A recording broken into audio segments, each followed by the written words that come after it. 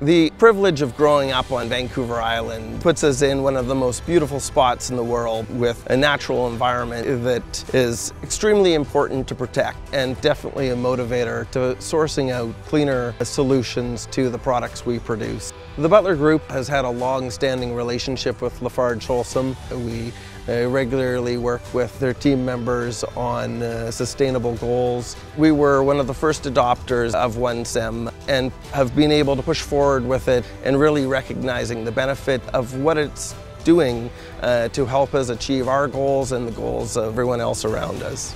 OneCem has become uh, an integral part of how we do business today. I believe it is our corporate responsibility to push forward in bringing more sustainable practices uh, to our industry and continue to improve our environmental impact position.